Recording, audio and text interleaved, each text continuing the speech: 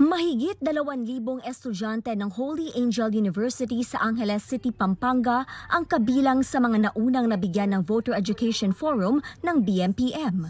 Isa sa mga tagapagsalita ay ang dating COMELEC Commissioner na si Attorney Louis Gia na tinalakay ang kahalagahan ng boto ng kabataan.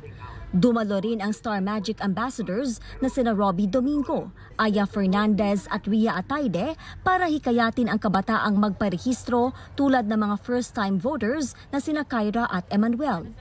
I think it's a huge leap po for the voters to be informed in this incoming election po. It was so nice po that uh, they are really campaigning for a good election in 2022. Is yung in-emphasize po nila ng elections po is para sa mga tao.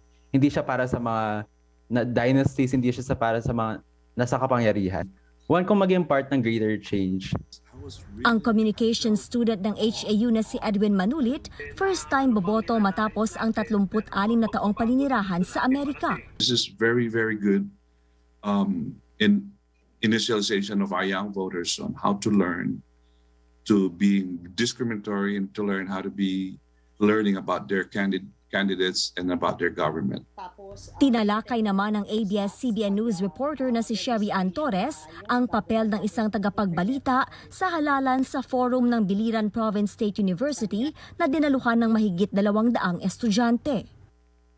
Mahigit isang daang estudyante rin ang dumalo sa forum sa Cebu Normal University kung saan tinalakay kung paano maging fact-checking detectives ang mga estudyante sa pangunguna ng ABS-CBN reporter na si Jervis Manahan.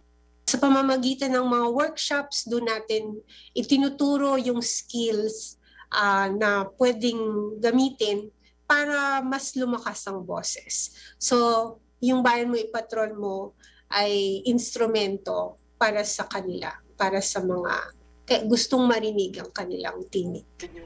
Patuloy ang pagbibigay ng mga workshop ng Bayan Mo Ipatrol Mo sa iba-ibang partner schools at organisasyon sa komunidad habang papalapit ang halalan.